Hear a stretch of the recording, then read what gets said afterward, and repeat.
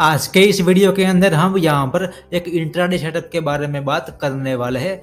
And इस intraday setup का नाम है open is equal to high. तो आप में से बहुत से लोगों को नहीं पता होगा कि यहाँ पर open is equal to high का मतलब क्या होता है। तो आज के इस वीडियो के अंदर हम यहाँ पर उसी के बारे में बात करने वाले हैं। और इस इंट्राडे सेटअप की मदद से हम यहाँ पर सिर्फ़ और सिर्फ़ सेल साइड का ट्रेड लेने वाले हैं। एंड इस वीडियो के पार्ट टू के अंदर हम यहाँ पर इसका बाय साइड का सेटअप भी सीखने वाले हैं। तो चलिए गाइस शुरू करते हैं हमारे आज के वीडियो को।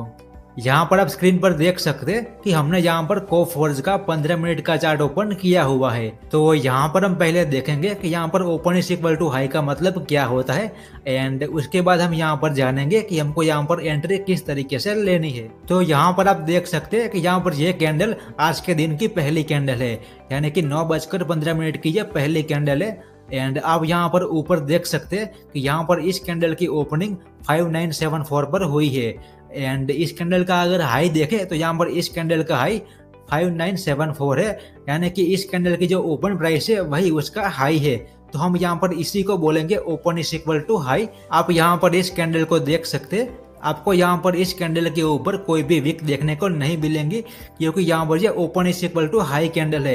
यानी कि जिस प्राइस पर ये कैंडल ओपन हुई है, वही उसका हाई है। तो यहाँ पर आपको समझ में आ गया होगा कि यहाँ पर open is equal to high का मतलब क्या होता है। तो हम यहाँ पर बात करेंगे कि आपको यहाँ पर एंट्री किस तरीके से लेनी है। तो इसके अंदर एंट्री लेने के लिए हम यहाँ पर वी वेब का इस्तेमाल करने वाले हैं। तो ये इंडिकेटर आपको फ्री में मिल जाएगा। आप यहाँ पर ये ब्लू लाइन देख सकते हैं। ये ब्लू लाइन हमारा वीवेप इंडिकेटर है। एंड हम यहाँ पर बात करते हैं कि आपको यहाँ पर एंट्री किस तरीके से लेनी है। तो ये हमारी नौ बजकर पंद्रह मिनट की open is equal to high candle है। एंड आप यहाँ पर देख सकते हैं कि यहाँ पर इस पहली कैंडल ने ही वीवेप को नीचे की ओर क्रॉस करके क्लोजिंग दे दी है। तो यहाँ पर हमारी एंट्री एक्सिक्यूट हो जाएगी। एंड यहाँ पर हम स्टॉप लॉस की अगर बात करें तो यहाँ पर आपका स्टॉप लॉस डे का हाई हो जाएगा। एंड उसके बाद जैसे ही प्राइस आपके फेवर में नीचे जाने लगे, तब तो आप यहाँ पर अपना स्टॉप लॉस ट्रेल करके अपनी एंट्री प्राइस पर ला सकते हैं। एंड आप यहाँ पर देख सकते हैं कि यहाँ पर open is equal to high आज बना हुआ था।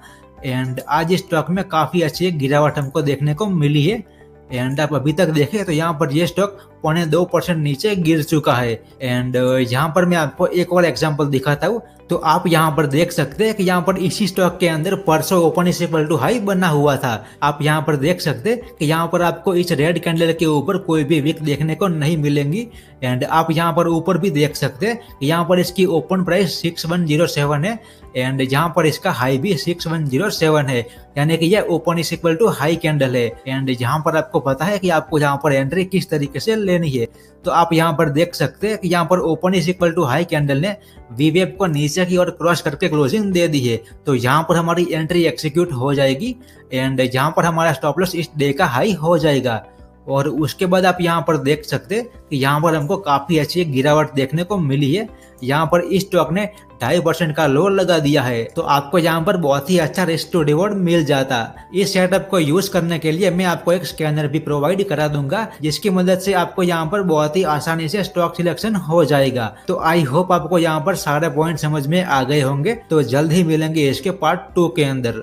अगर आपको वीडियो अच्छा लगा हो तो वीडियो को लाइक शेयर एंड हमारे यूट्यूब चैनल को सब्सक्राइब करना ना भूले।